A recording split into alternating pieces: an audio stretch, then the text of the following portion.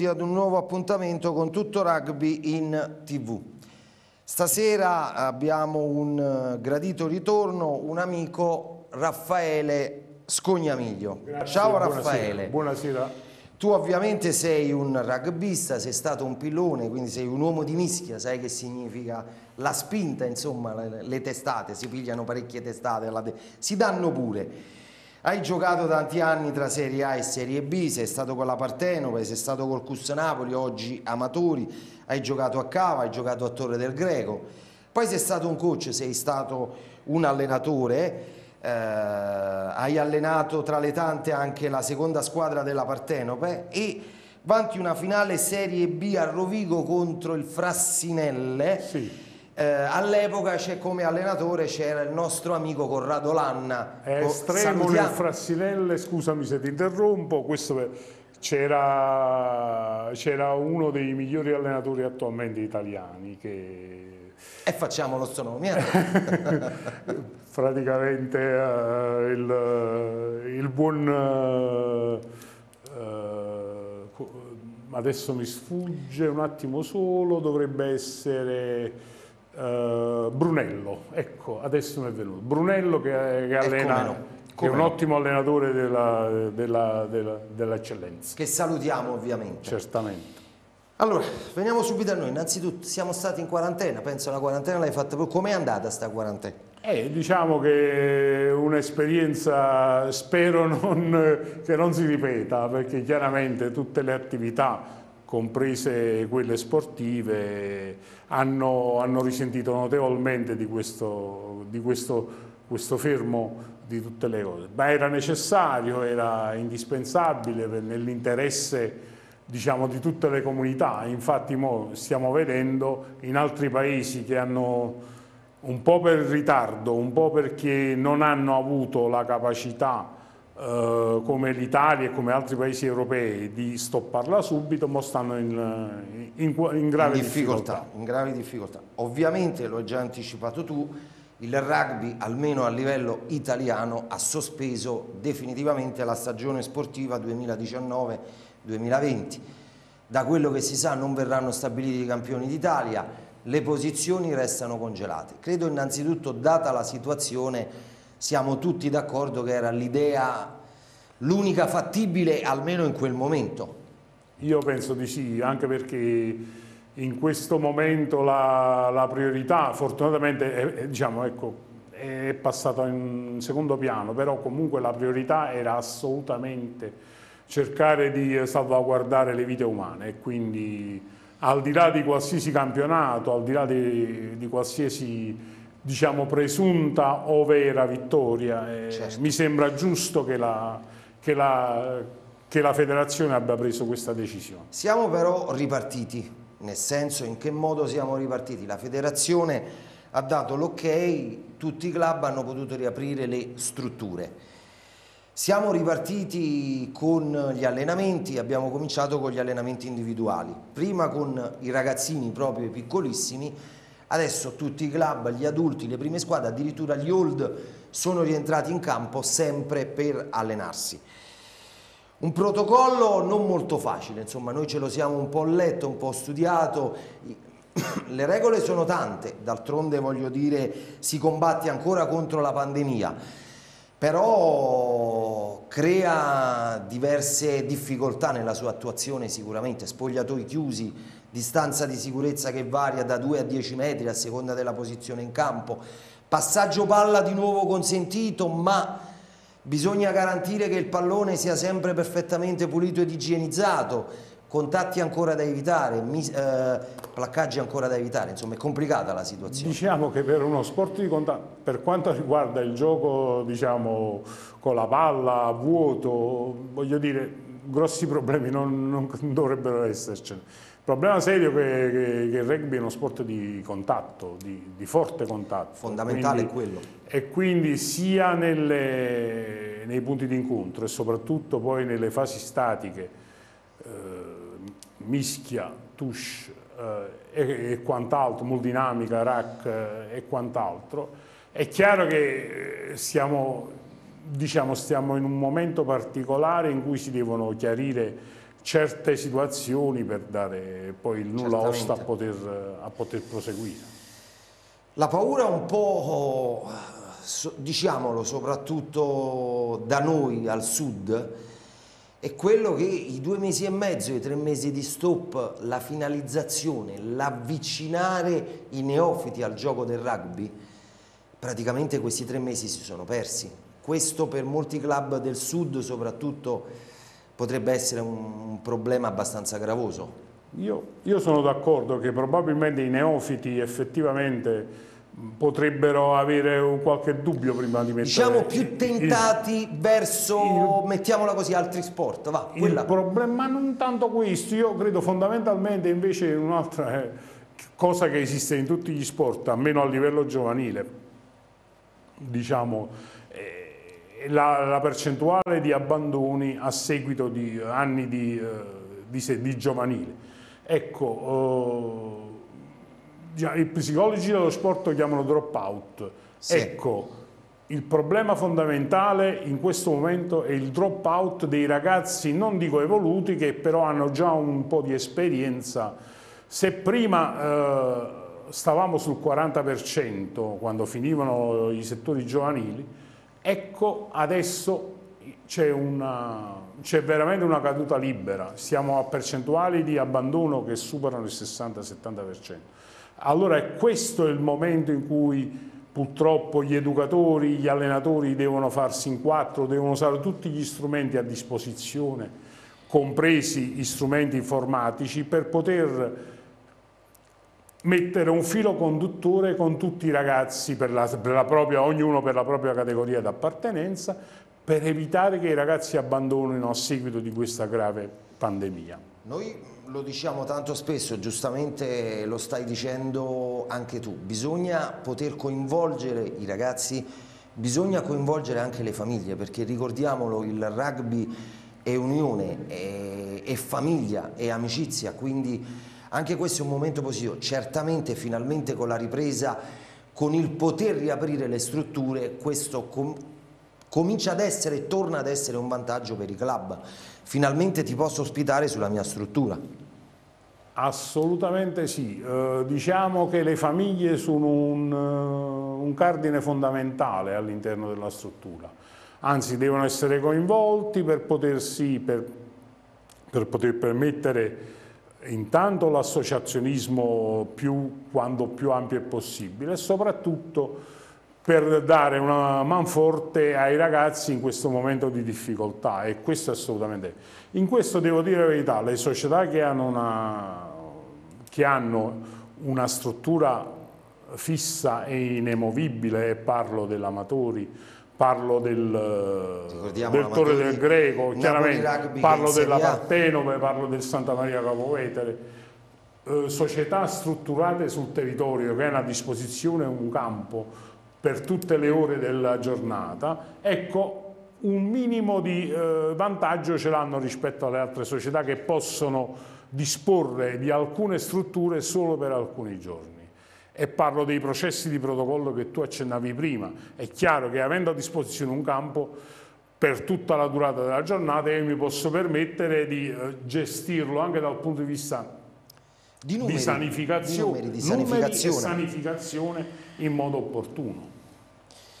Ricordiamo che il, il, il, problema fondamentale, che giustamente accennavi anche tu, eh, combattiamo spesso, io dico al sud, per non dire solo e soltanto la campagna, con strutture fatiscenti, strutture dove manca ancora il campo, non tutte le strutture dalle parti nostre hanno ancora il manto erboso, anche quello, questa ripartenza ha costretto ancora a fermarsi. Assolutamente, e in questo devo dire la verità ci aiuta ancora. Le società che sono riuscite con mezzi propri o con me, con aiuti delle federazioni sportive, della nostra federazione sportiva FIR e anche del CONI, eh, diciamo eh, che hanno, sono riusciti a fare un campo in sintetico. Ecco, il campo in sintetico aiuterà moltissimo al, per il processo di sanificazione all'interno di tutte le rispetto a, chiaramente ai campi polverosi che noi spesso troviamo ancora. I famosi campi di patate di cui, di cui noi abbiamo usufruito. Dove quelle, le, le, pietre, quelle piccolette entravano esatto, nel ginocchio, non, non, le vedevi più, però facevano male cane. Non mi posso mai dimenticare, guarda, con tutto il rispetto, una persona che poi rispetto purtroppo non c'è più, Tonio Margiotta, a Valle Irne riuscì a fare un campo da rugby in una ex cava in una ex cava di pietre e noi abbiamo giocato in quel campo. E si giocava. E si giocava. Il grande Tony ha fatto bene a ricordarli, a salutarlo, purtroppo è già qualche anno che non c'è più, ma è una persona che ha creduto in questo sport, prima come giocatore, poi come allenatore e ci ha creduto fino alla fine, possiamo dirlo tranquillamente. Un caro saluto a Tonio e alla sua famiglia.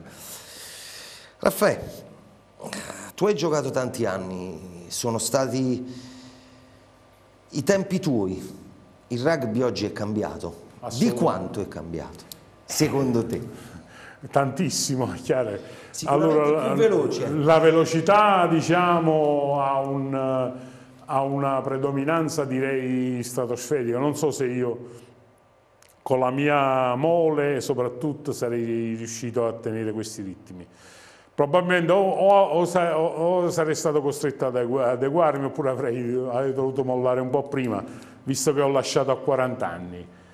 E quindi diciamo, la velocità sicuramente, le regole sicuramente hanno aiutato la, spe la spettacolarizzazione dello sport, sicuramente una forma nuova, certo però Aumentando la velocità sono aumentati anche i traumi e non a caso la, eh, la federazione internazionale ha preso prima con la concussion e ancora prima con altri provvedimenti, soprattutto da parte arbitrale, un tentativo di ridurre i traumi sportivi in questo senso. Trauma, col trauma cranico non uh, si scherza. Qualcuno, proprio nelle scorse puntate parlavamo con l'amico eh, Chicco Fusco, ne abbiamo parlato anche col nostro amico Franco Salierno, il professore Francesco Salierno che salutiamo, oggi purtroppo non è potuto essere presente ma sarà presente nelle prossime puntate. Questa velocità, questa spettacolarità, forse in un certo senso però il, il rugby, il rugby puro lo sta tra virgolette lo metto un po' rinnegato o tantomeno cambiando. Si ipotizzava con Chicco forse che il ruolo del 9 e del 10 cominciano un po' a diminuire di importanza forse con tutta questa spettacolarità. Diciamo si dovrebbe usare eh, tanti schemi, tante cose, forse un famoso cervello che si è sempre adoperato no, sui campi da rugby. Il 10 hanno sempre una una figura fondamentale, un'importanza fondamentale. Voglio dire, non, non staturiamo questa cosa. Certo, il numero, spesso il 9 e il 10 per esempio si alternano nel ruolo, proprio per la Anche velocizzazione, esatto, voglio dire, molto spesso addirittura all'estremo, le guida la seconda linea d'attacco, oppure l'apertura stessa va nella seconda linea d'attacco e nella prima linea d'attacco va all'estremo che, che si è inserito. Quello che era un po' il ruolo Quindi voglio dire, attenzione, io mh, sarei cauto con questa, dal punto di vista tecnico è chiaro, sarei cauto con questa diciamo, eh, diminuzione della, del ruolo dei mediani che rimane sempre fondamentale. Chicco sempre il cervello de della squadra rimane, soprattutto il mediano di Misi, con le sue finte, con i suoi passaggi. Ah, la velocità del, del passaggio rimane fondamentale, Infatti diciamo, ma certo... pure dell'apertura, eh, voglio dire, anche, non solo del mediano. Diciamo che dobbiamo pensarci, eh, è chiaro che a noi serve la visibilità, serve la televisione, quindi più spettacolarizziamo questo sport diciamocelo chiaramente, ognuno tira l'acqua al suo mulino. No, eh, è chiaro che fa più piacere, a volte si pensa, ehm, anche questo forse sta un po' cambiando, il pubblico di rugby è stato sempre un pubblico di esperti, comunque eh, qualcuno che almeno in tempi passati ha praticato il campo o, la, o come allenatore o come giocatore, quindi è chiaro che adesso si cerca un pubblico più vasto, forse i cosiddetti neofiti, i poco esperti, 7, 8, 10 fasi dove noi sappiamo che ti fai il cosiddetto per certo. conquistare quel centimetro, forse posso capire che a livello di media eh, quindi tv piuttosto che eh, può diventare un po' non piacevole da vedere tutte quelle fasi, mettiamola così. Io non lo so, cioè, eh, uno dei, dei punti fondamentali io che non, che non abbatterei è proprio il fatto della, della multifase Proprio la multifase rende la difesa più debole e permette alla squadra che ha il possesso del pallone di avanzare. E quindi di giocare nel campo avversario e quindi di portare delle eh, azioni spettacolari eh, che il pubblico potrebbe gradire, gradire, sicuramente, voglio dire. Al di là, ripeto, al di là del fatto che eh, è chiaro che c'è una certa differenza fra le difese arcigne di oggi che stanno in una linea che è una difesa chiaramente derivata dal, dal rugby a 13, cosiddetto rugby a 13 o meglio rugby league, che ha praticamente bloccato gli attacchi e quindi tranne alcune squadre, cito una squadra a caso, la Nuova Zelanda, nonostante abbia perso sì. il campionato del mondo, diciamo, per il resto assolutamente non ci sono, società, eh, ci sono squadre che non riescono, non riescono, a superare la linea di vantaggio proprio per la presenza di una linea difensiva molto, molto efficace. Le difese hanno la ragione in questo momento pare di sì. Dobbiamo trovare, devono trovare a livello di rugby eh, board delle eh, azioni, come è stato fatto in passato, tale da permettere un'ulteriore spettacolarizzazione, difendendo ovviamente la, la, la salute dei giocatori. Assolutamente la sicurezza degli atleti in campo è, è la prima cosa. Una domanda che faccio un po' a tutti, so, sì. so già la tua risposta ma facciamola sapere anche agli spettatori. Se ne sono sentite tante durante il periodo della quarantena e del lockdown. Le due che a me personalmente hanno fatto più ridere sono state ri rientriamo in campo, parlo logicamente di giocare a rugby col touch, ma la più incredibile, e viene dall'Inghilterra, facciamo una partita di rugby senza pacchetto. Senti, Pur di rientrare, credo siamo... Non Era riesco. talmente tanta la voglia di rientrare che sì, proprio abbiamo... può darsi, io non riesco... Ecco, vedi, io non riesco a...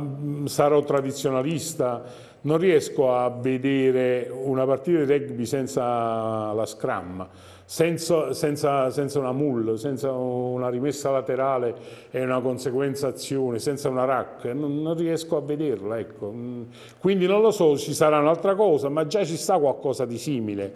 Allora, non voglio, non voglio c'è allora... il rugby, no, voglio dire, ma ne, non nemmeno lo stesso rugby a 7, guarda, lo stesso rugby 7 prevede alcuni punti di incontro, delle mini rack sicuramente le prevede, quindi voglio dire, Pacchetto esiste il rugby, il cosiddetto Rugby League che già utilizza questi sistemi, quindi voglio dire mi sembra un po' ecco, trovare, è vero, è pur vero che per darsi visibilità al Rugby League, per cercare spazi commerciali in un momento difficile come altri sport, ha cercato questo momento, infatti non si è fermato, eh, di giocare e di, darsi, di dare più visibilità, però è anche vero che il rugby eh, la rugby union è una cosa e il rugby a 13 è un'altra, è un'altra cosa, sono due sport, sono due cose diverse.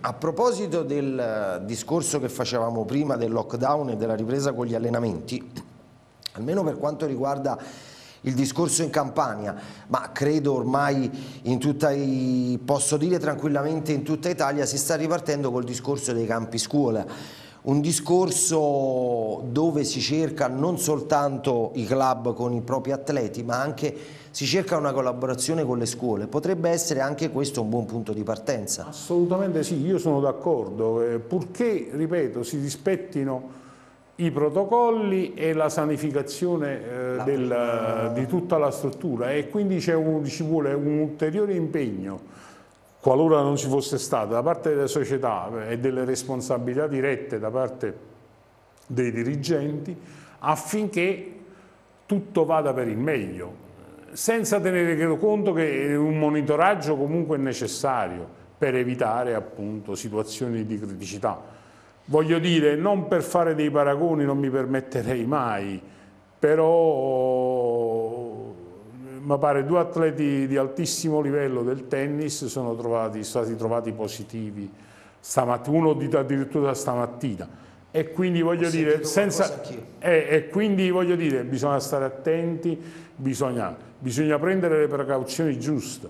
E bisogna... Parliamo di adulti e non di ragazzi. Sì, è chiaro, è tutto un altro livello, è chiaro ed evidente. Quindi bisogna stare attenti. Allora, nella misura in cui si riesce a rispettare il protocollo in tutte le sue fasi e nella misura in cui c'è la disponibilità da parte dei genitori e degli atleti stessi, soprattutto dei genitori, è chiaro che stiamo parlando di ragazzi, non ci sono difficoltà, è giusto che si faccia, è un'iniziativa lodevole, meritoria, purché, ripeto, si rispettino i protocolli. Assolutamente. Raffaele, veniamo un po', io dico sempre le dolenti note, la nazionale.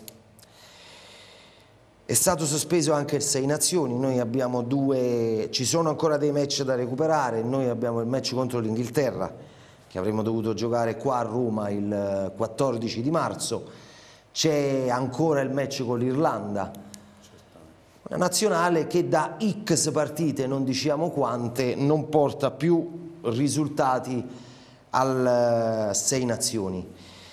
Abbiamo riconfermato, abbiamo esattamente tre minuti, quindi sarò sì. abbastanza veloce. No, abbiamo riconfermato il coach, Franco Smith sappiamo che è già riconfermato per altri quattro anni, quindi eh, fino al 2024 diamogli fiducia, diamo fiducia al suo staff, ma la nazionale deve cominciare a portare qualche risultato anche al Sei Nazioni. Diciamo che dal punto di vista tecnico Franco Smith è una delle migliori persone, anche perché ha ottenuto degli ottimi risultati a Treviso. Ha giocato in Italia, ha giocato, conosce il rugby italiano, quindi voglio dire, quei problemi che presumibilmente abbiamo avuto con qualche altro tecnico straniero non ci dovrebbero essere. Certo. Il problema è capire eh, i ruoli che noi abbiamo a disposizione per poter per poter giocare ad alto livello. Ecco. E purtroppo in alcuni ruoli siamo ancora deficitari, è pur vero che dalla, diciamo, da, dalle nostre cosiddette accademie eh, sono usciti dei giocatori, però non ancora ad altissimo livello, che si possono buttare in campo e permettere di fare la differenza o comunque di reggere il campo.